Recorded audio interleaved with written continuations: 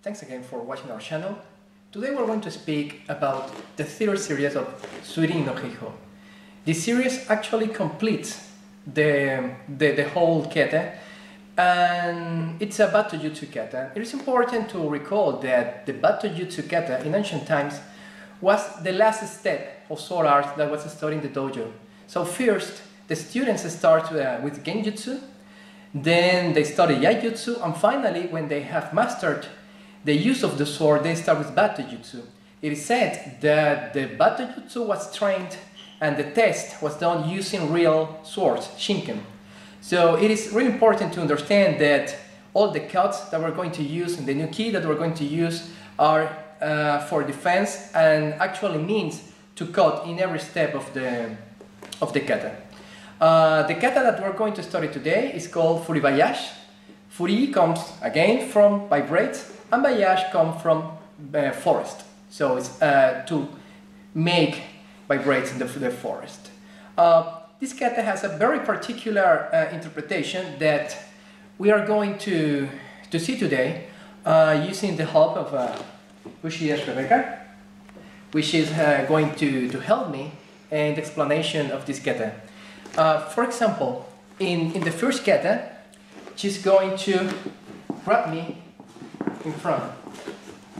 Okay, she's going to use force, it's going to grab me, and then I'm going to use my sword. As I don't have enough room to make the nuki, I'm going to uh, unleash my, my sword in this position, so I have room to do it.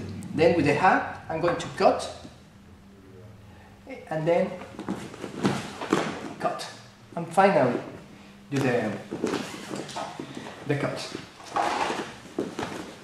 Um, another example, for example, the third one. She's going to grab me from, okay, from the leaf and then she's going to strangle me. Okay? Now, when she's going to do that, I'm going to generate a space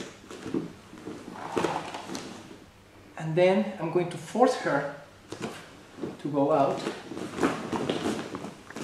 And another example of the application of this series is, for example, when she's trying to grab me from my hips, just try to grab it. Then I'm going to use the torsion, the rotation of my body to make her unstable and release the grab. So in this case, I'm going to release sword using the torsion or the inertia of my hips to make it away and then cut. Finally, closing this, this, this series of three videos, uh, if you have seen the previous two, you will probably have uh, seen a very particular way to execute the chiburi.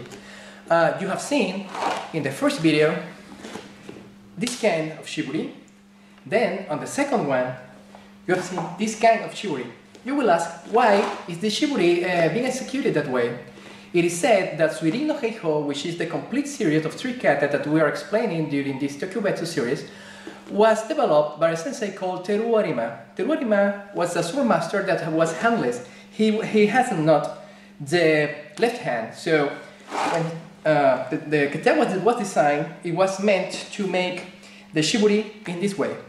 This chiburi is called Tateushi chiburi, and is a very characteristic uh, example of how the anthropological uh, origins of, of, our katas are developed and are actually kept and studied within our tradition.